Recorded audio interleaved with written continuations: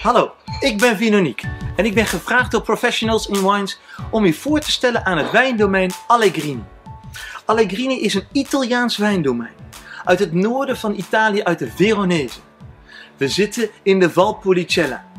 Hier werken zij al sinds de jaren 1600 om de mooiste wijnen te maken die ze kunnen. Allegrini bezit ondertussen 100 hectare aan wijngaarden en zijn toonaangevend in het Veronese gebied. Uiteraard gaan we een van de wijnen proeven, maar daarvoor gaan we eerst in gesprek met iemand van het domein. Die gaat ons vertellen wat nou de stijl en identiteit is van Allegrini. Ik sta hier met Alberto, de commercieel directeur van Allegrini.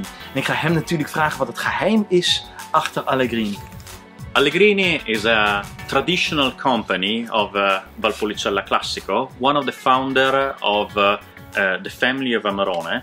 The company, after six generations, is still managed by uh, the original family, the Allegrini family. The wines uh, are basically have deep roots uh, in the tradition of Valpolicella, but at the same time have a unique strive for uh, innovation. What's the style that we can expect? Uh, we pair the fruitiness of the Corvina to the richness uh, of the uh, drying techniques uh, of the of typical of the regions. We want to to produce uh, extremely elegant, balanced wines that pairs complexity with the pleasure of drinking them.